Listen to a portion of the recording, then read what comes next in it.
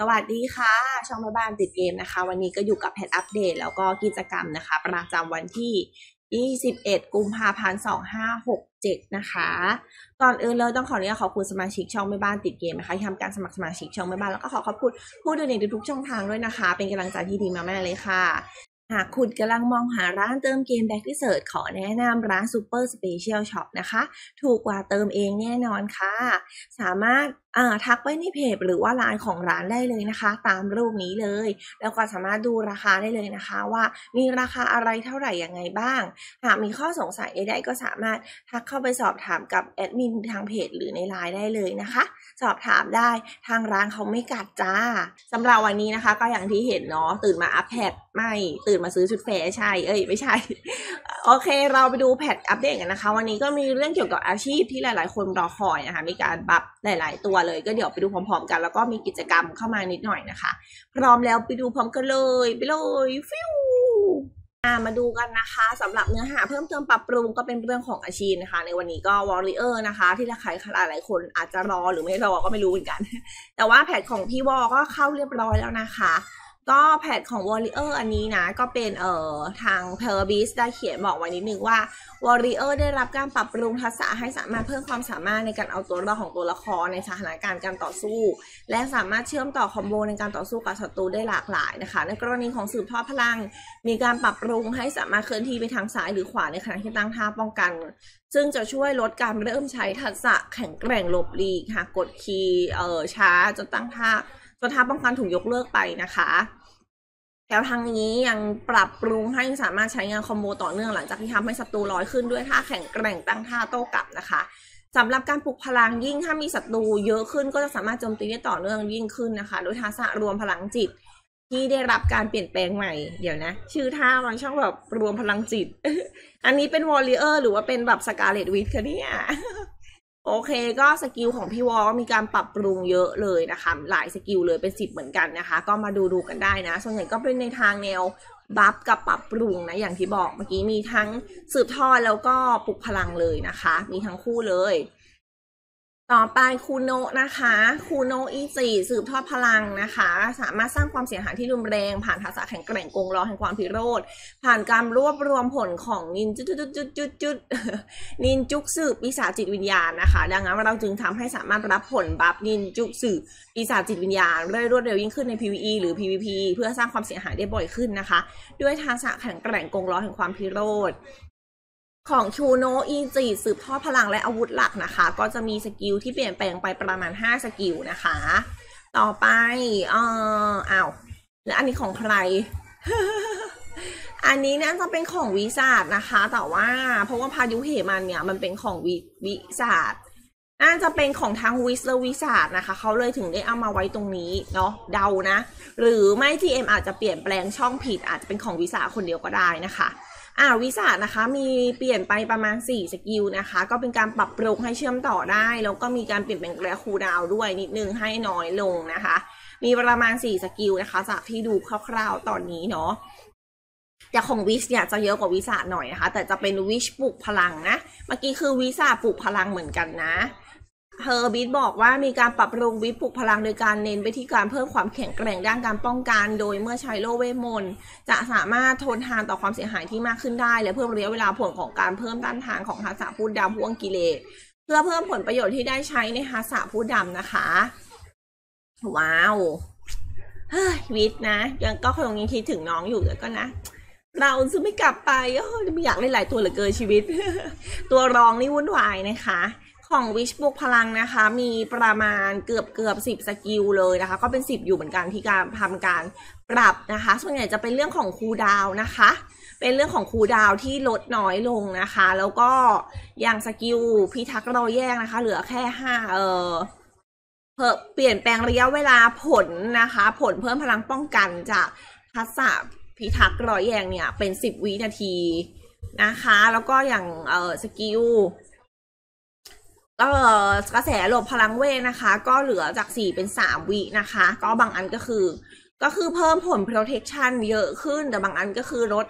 ระยะเวลา cooldown แต่ส่วนใหญ่จะเป็นการเพิ่มผล protection นะอย่างที่บอกเมื่อกี้ โอเค ก็ประมาณนี้แล้วก็ Striker นะคะ อาวุธหลักกะสืบทอดพลังเนาะ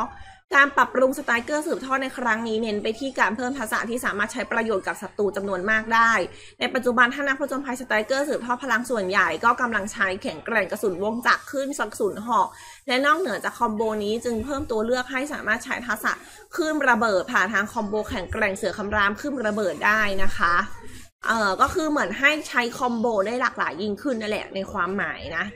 อ่าก็ประมาณนี้สำหรับเอ่อ Striker สืบทอดพลังนะคะ แล้วก็สกิลเนี่ยมีการเปลี่ยนแปลงให้ตีแรงขึ้นด้วยนะคะ อย่างเช่นสกิลแข็งแกร่งหมัดเดือดขึ้นระเบิดนะคะ มีประมาณ 2 สกิลโอเค แล้วที่เหลืออีก 3 สกิลเนี่ยเป็นเอ่อเกี่ยวกับเรื่องผลพลังป้องกันด้านหน้านะคะ ผล super armor อะไรประมาณนี้นะคะอ่าแล้วก็ต่อไปโนวาสืบทอดนะคะโนวาสืบทอด วันนี้ อ้างง่ายก็คือเป็นการบัฟละกันเนาะเพราะว่า เอ่อเพิ่มพลังโจมตีให้กับสกิลใน PVE แบบเบิ่มๆพอสมควรนะคะ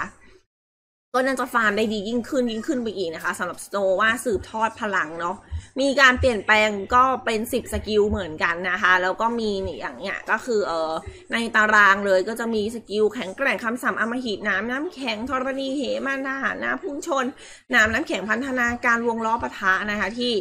เพิ่มค่าความเสียหายขึ้นไปอีกนะคะ จากตอนแรกตีประมาณพันสี่ร้อยเปอร์เซ็นต์เป็นอยู่เออสูงสุดที่สองพันสิบเจ็ดเปอร์เซ็นอะไรประมาณนี้นะคะ แล้วก็อัตรา critical ก็ปรับเป็นร้อยเปอร์เซ็นต์นะคะนาประมาณสามถึงสี่สกิลเลยนะคะ หรืออันไหนที่ไม่มีอัตรา critical ก็ปรับเป็นห้าสิบเปอร์เซ็นต์นั่นเองนะ ประมาณนี้ อันนี้คือสรุปรวบยอดให้แล้วนะ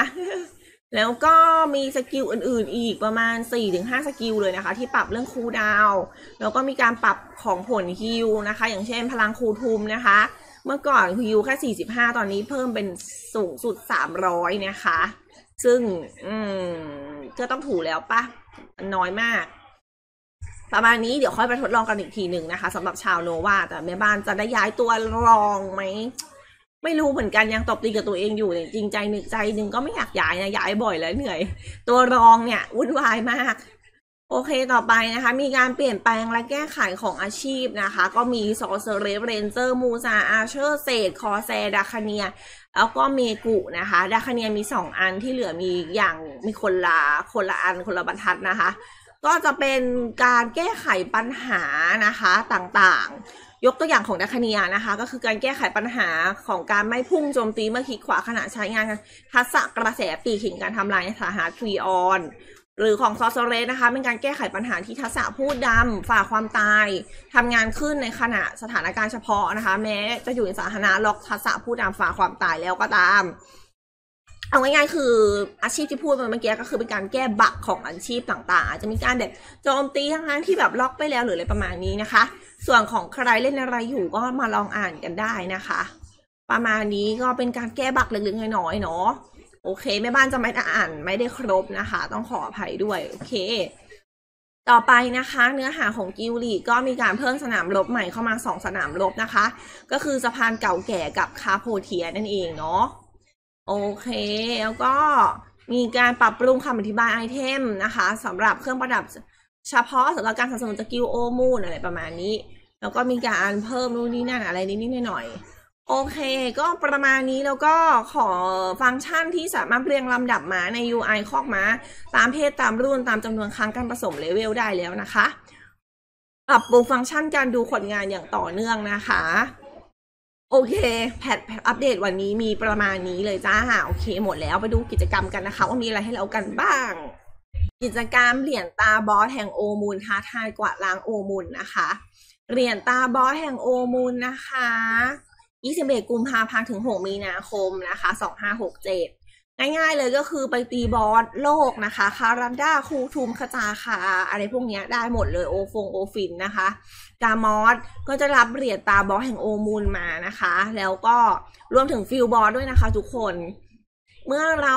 เอ่อไปตี boss field boss world boss แล้วนะคะพอได้เหรียญตามาสามารถนำไปแลกของได้นะคะ ก็มาดูของแลกกันเถอะ ซึ่งสำหรับใครที่กำลังทำ เอ่อของประดับ V ร้อยเปอร์เซ็นต์ของเจทีน่าอยู่ก็แนะนำนะคะ เพราะว่าเหรียญตาแห่งโอมูลของ boss เนี่ยสามารถนำไปแลกสะเก็ดเวทมนตร์ได้ด้วยนะคะแลกกันทั้งหมดหมายถึงว่าแลกเออหนึ่งเหรียญแลกได้สามสะเก็ดเลยนะคะ ก็ถือว่าเป็นอีกช่องทางหนึ่งในการหาแล้วกันเนาะซึ่งเอ่อ